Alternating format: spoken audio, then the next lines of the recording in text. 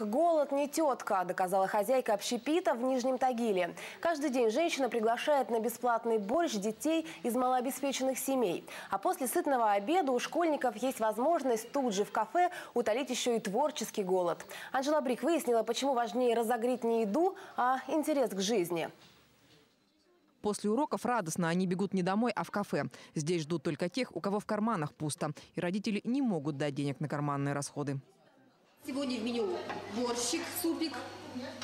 Дети его очень любят. Вот здесь у нас пюре, гарнир, они его обожают. За вкусный и сытный обед с детей не берут ни копейки, ведь они из малообеспеченных семей. Кормилицей для всех стала бизнес-леди, директор кафе Ольга Ивановна. Она и сама знает, что такое голод. Родилась в войну. В семье, где было четверо детей, частенько приходилось туго. И такого в мирное время Ольга Ивановна никому не желает. Коллектив ее идею поддержал. Всего за месяц в кафе накормили 165 детей. Дети, ну, дети, ну как вот, если вот, вот идешь мимо, ребенок стоит, он, у него гла- глазенки вот такие светятся, он есть хочет, ну как пройти мимо?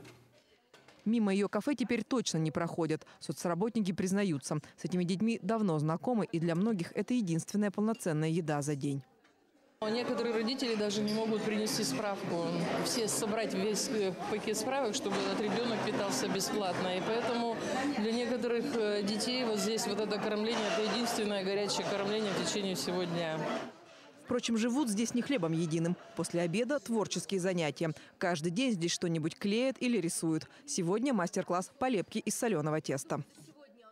Поэтому сегодня мы будем делать вот таких вот замечательных, очень позитивных, очень красивых, очень радостных мартовских котов.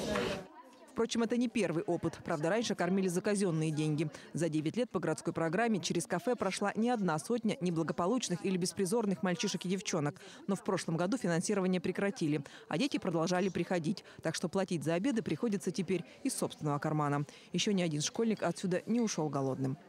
Если за мной стоит коллектив, я все-таки э, считаю, что вы, мы все-таки выдержим это, и как дальше будет, я не знаю. Ну, п- бросать, кормить детей я не буду. Анжела Брик, новости 41 канала.